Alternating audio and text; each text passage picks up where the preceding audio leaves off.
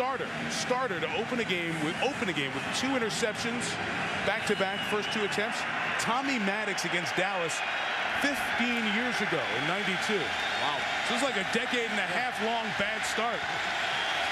But they came back for it on the last drive, 70 yards in the Witten touchdown. First and 10, but 89 yards to go. Deflected in the air and caught for the touchdown by Chris Kelsay. Unbelievable!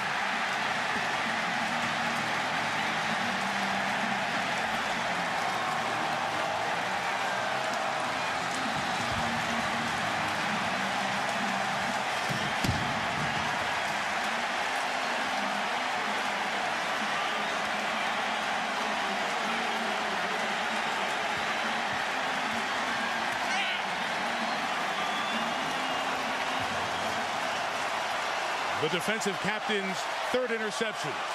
First National Football League touchdown.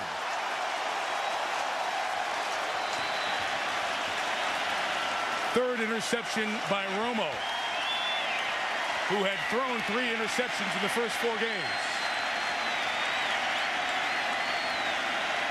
Think they're having fun in Buffalo tonight? Bills 17-7.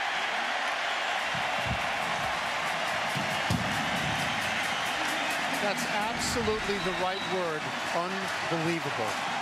They come into this game ranked 32nd on defense. There's a defensive play that'll help that average.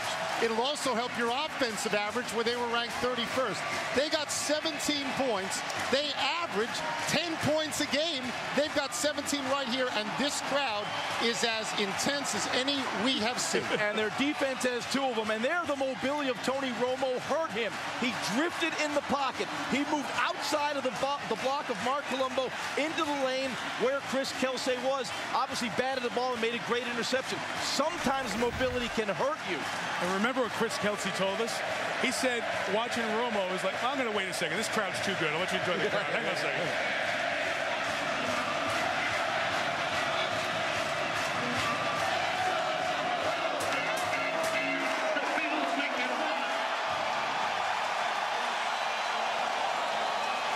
Can't believe Jaws hasn't put that Bills jersey on yet. I know he's got Hey, one. Long way to go. Kel- Kelsay told us playing Romo's like playing Favre. And the one thing you have to do is stay down. Don't jump up for those pump fakes. So he said, I really don't want to be on film Tuesday morning having jumped up. That time he jumped up, but guess what? It paid off.